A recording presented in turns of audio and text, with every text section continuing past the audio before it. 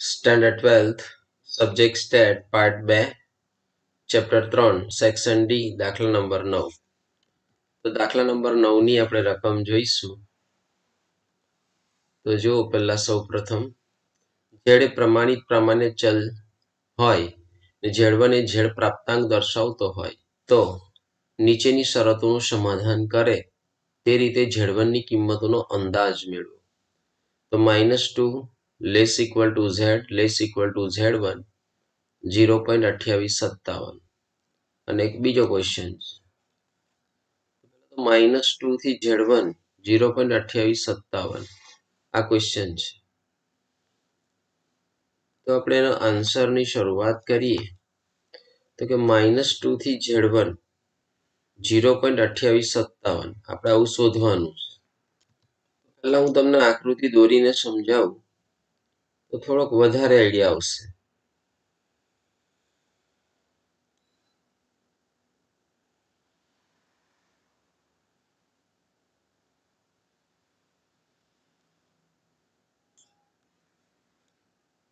આકૃતિ તમે જ્યાં જો ત્યાં આખા ચેપ્ટરમાં એમાં કોઈ ચેન્જ નથી. એવી ને એવી જ દોરવાની છે. માઇનસ ટુ છે એટલે ઝીરોની ડાબી બાજુ હોય તો માઇનસ ટુ હશે. પણ આ ઝેડવન ક્યાં સુધી હશે? જીરોની આ બાજુ ડાબી બાજુ હશે કે જમણી બાજુ? તો માઇનસ ટુથી ઝેડ વન એટલે ઝેડવન અહીંયા પણ હોઈ શકે, અહીંયા હોઈ શકે, અહીંયા હોઈ શકે. પણ આટલું ક્ષેત્રફળ એનું ઝીરો પોઈન્ટ અઠ્યાવીસ સત્તાવન છે. આપણે છે ને એની અંદર ક્ષેત્રફળ બેનું જોવાનું. બેનું ક્ષેત્રફળ જોશો તમે, તો જો આ બેનું ક્ષેત્રફળ તો એનાથી થોડો આઈડિયા આવે કે આ બેનું. તમે જોઈ શકો આ બે જીરો પોઈન્ટ સુડતાલીસ બોતેર છે. એનો મતલબ શું? અહીંયાથી આ જીરોથી બે સુધીનું ક્ષેત્રફળ જીરો પોઈન્ટ સુડતાલીસ બોતેર. તેનો મતલબ આ તો અઠ્યાવીસ સત્તાવન છે માઇનસ ટુ થી ઝેડ વન. એટલે જે છે બેનું જોયું એના કરતાં ઓછું છે. એટલે ફાઇનલી તમે એવું ડિસિઝન લઈ શકો કે આ ઝેડ વન છે ને જીરોની ડાબી તરફ હશે. કેમ કે તમે સમજી શકો કે બેનું ક્ષેત્રફળ જો સુમતાલીસ હોય ઝીરો પોઈન્ટ ચાર હજાર સાતસો જેવું. અને માઇનસ ટુથી ઝેડ વનનું ખાલી માત્ર અઠ્યાવીસ સત્તાવન છે. તો આ વધારે છે. અને ઓછું છે. તો ઓછું એટલે ડાબી બાજુ જ હોય. તો ઝેડ વન અહીંયા હશે. એટલે માઇનસ ટુ થી ઝેડ વન તો માઇનસ ટુ થી ઝેડ વન એટલે આટલું જ. તો અત્યારે આટલી જ આકૃતિ દોરવાની આપણે.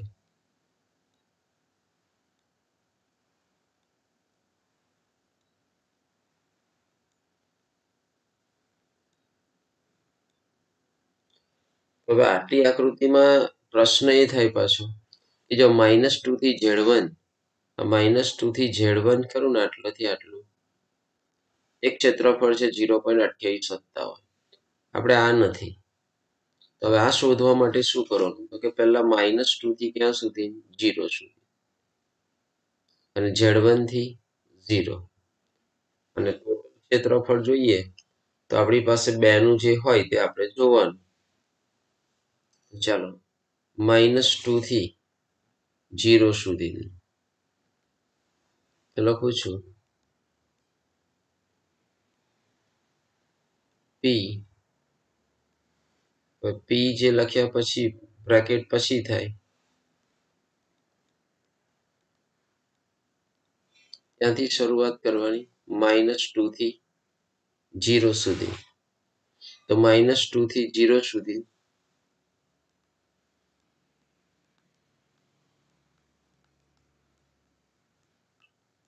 માઇનસ પી હવે એકચ્યુઅલમાં આપણી પાસે આ છે. પણ આપણે જ્યારે લખતા હતા કહીએ કે ઝેડ વનથી ક્યાં સુધી જીરો સુધી. Z one less equal to z less equal to zero બરાબર. માઇનસ ટુ થી જીરો અને ઝેડ વનથી જીરો એની બાદ બાકી આપણી પાસે ઓલરેડી છે. જીરો પોઈન્ટ અઠ્યાવીસ સત્તાવન. જીરો પોઈન્ટ અઠ્યાવીસ સત્તાવન. હવે આપણે અંદર રકમમાં જોવાનું. મને એક વાર પ્લસ કરી દેવાનું.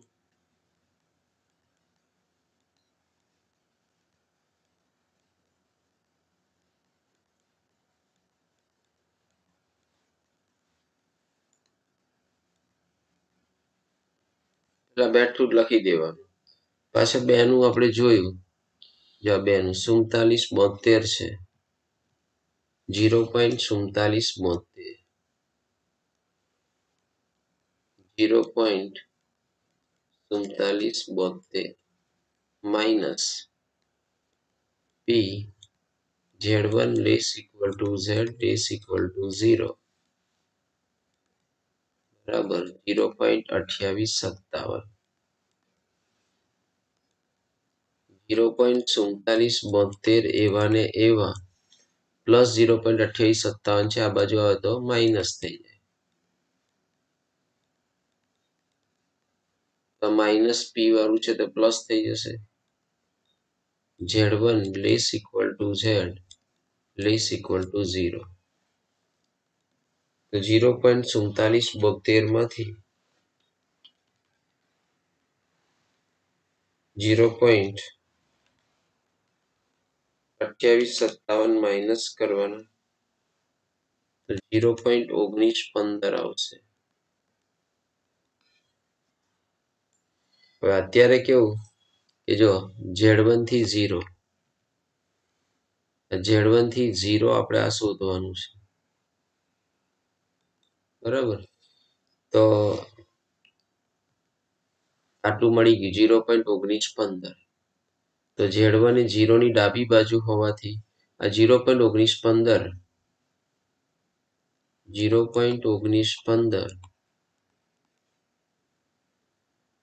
ક્ષેત્રફળ.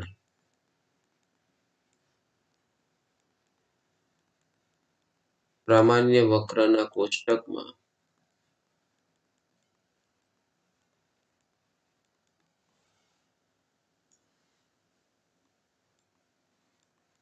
ઉલટી રીતે જોતા. એવું થાય કે પેલું દોરીને કેમ ના લખ્યું? તો એમાં કેવું કે બેઠી રકમ ના મળતી તો દોરીને લખવું પડે. ભાઈ બેઠી જ ઝીરો પોઈન્ટ ઓગણીસ પંદર અહીંયા આગળ જોશો ને કોષ્ટકમાં તો બેઠું જોવા મળે છે. ઝીરો પોઈન્ટ ઓગણીસ પંદર બિલકુલ બેઠું હશે. જોઈ લો. ઝીરો પોઈન્ટ ઓગણીસ પંદર. જવું બેઠું મળી જાય. તો પછી ઉપરની કે નીચેની રકમ ધ્યાનમાં લેવાની હોતી નથી. તો ઝીરો પોઈન્ટ ઓગણીસ પંદર, ઝીરો પોઈન્ટ પાંચ છે અને ઝીરો ઝીરો છે. ઝીરો પોઈન્ટ પાંચમાં જ આવે છે. તો ઝીરો પોઈન્ટ ઓગણીસ પંદર.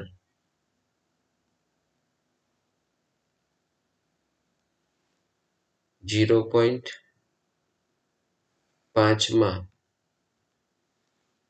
ઝીરો પોઈન્ટ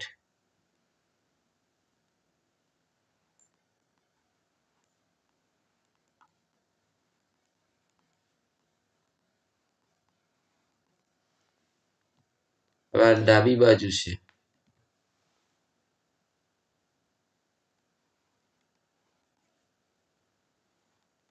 ઝીરોની ડાબી બાજુ હોવાથી.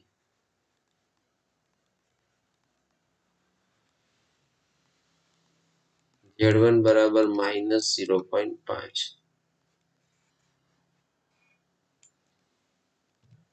ઝેડ વનની કિંમત માઇનસ ઝીરો પોઈન્ટ પાંચ આવી ગઈ.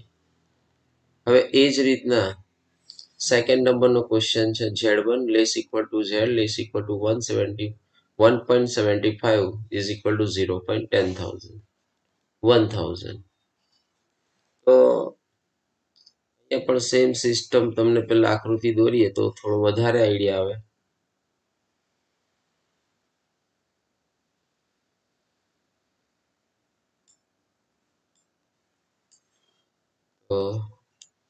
આકૃતિ તૈયાર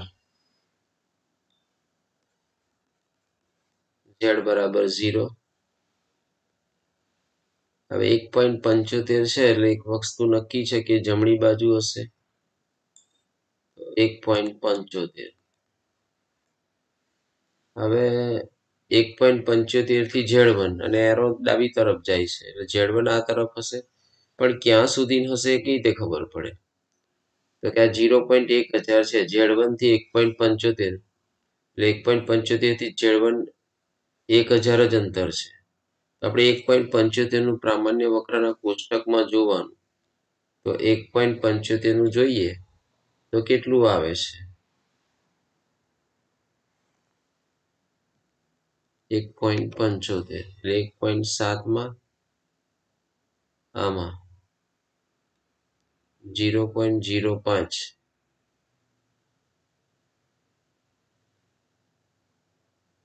જીરો પોઈન્ટ પિસ્તાલીસ નવ્વાણું છે. તો જીરો પોઈન્ટ પિસ્તાલીસ નવ્વાણું અને આ તો હજાર જ છે. તો પિસ્તાલીસ નવ્વાણું એટલે અહીંયા સુધીનું છે. પછી નક્કી છે કે આ ઝેડ વન જમણી બાજુ જ હશે. ફરી એકવાર એક પોઈન્ટ પંચોતેરનું જોયું ને તો વધી જાય છે. ચાર હજાર નવસો સમથિંગ થાય છે. અને ઝેડ વનથી એક પોઈન્ટ પંચોતેરનું અંતર માત્ર હજાર જ છે. પેલું જે જોયું એનાથી ખૂબ જ ઓછું છે, એટલે ઝેડ વન જમણી બાજુ હશે. ઝેડ વન તો ઝેડ વનથી એક પોઈન્ટ પંચોતેર, આ ઝેડ વનથી એક પોઈન્ટ પંચોતેર આ બેની વચ્ચેનું લખવાનું. આ બેની વચ્ચેનું આ ક્ષેત્રફળ નક્કી થઈ ગયું. હવે લખતી વખતે સ્ટાઇલ શું રહેશે? તો કે જીરોથી એક પોઈન્ટ પંચોતેર જીરોથી ઝેડ વન બરાબર? અને ઝેડ વનથી એક પોઈન્ટ પંચોતેર. આમ તો આટલું ક્ષેત્રફળ છે જ આપણી પાસે. ઝેડ વનથી એક પોઈન્ટ પંચોતેરનું ક્ષેત્રફળ છે જ. ઝીરો પોઈન્ટ એક હજાર. તો જો લખીએ ભાષા. જીરો થી એક પોઈન્ટ પંચોતેર.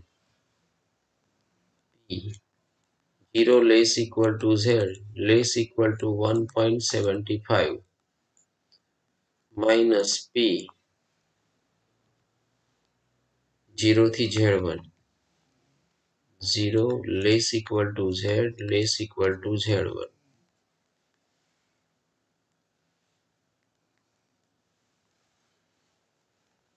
એ બાદ બાકી કરીએ તો આટલી આવે ઝીરો પોઈન્ટ થાઉઝન્ડ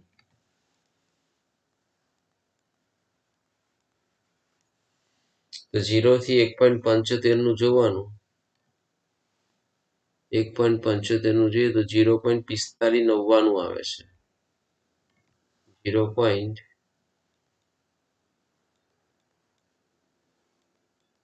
પિસ્તાલીસ નવ્વાણું. Less equal to Z less equal to Z one zero point thousand thousand છે પ્લસ આ બાજુ આવે તો માઇનસ થઈ જાય. ઝીરો પોઈન્ટ પિસ્તાલીસ નવ્વાણું. પ્લસ એક હજાર છે, આ ડાબી સાઈડ પર આવે તો માઇનસ થઈ જાય. અને માઇનસ છે આમ જાય તો પ્લસ થઈ જાય.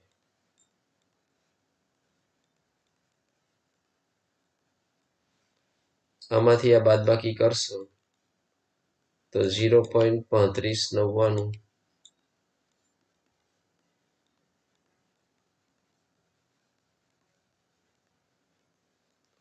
હવે ઝીરો પોઈન્ટ પાંત્રીસ નવ્વાણું પ્રામાણ્ય વક્રના કોષ્ટકમાં જોવાનું. ઝીરો પોઈન્ટ પાંત્રીસ નવ્વાણું.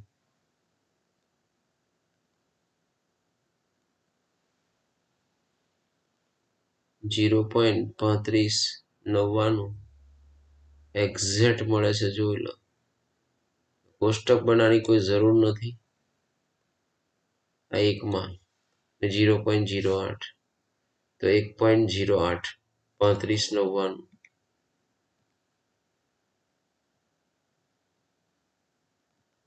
તો અહીં આગળ લખી દેવાનું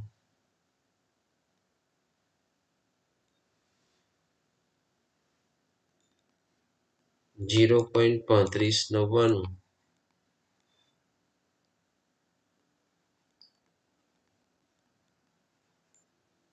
જીરો પોઈન્ટ પાંત્રીસ નવ્વાણું ક્ષેત્રફળ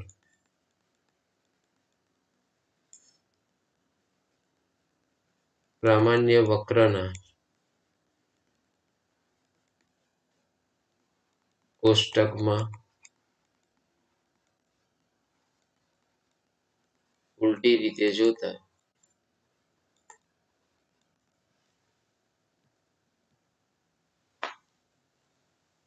એક પોઈન્ટ જીરો આઠ.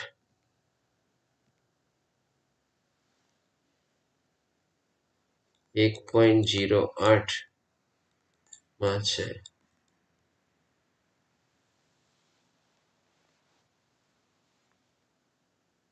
એક હાર ને જીરો પોઈન્ટ ઝીરો આઠના સ્તંભમાં જોવા મળે છે. તેથી પાછું તે જોવાનું કે ઝેડવન કઈ બાજુ છે? જમણી બાજુ. ઝેડવન ઝીરોની જમણી બાજુ હોવાથી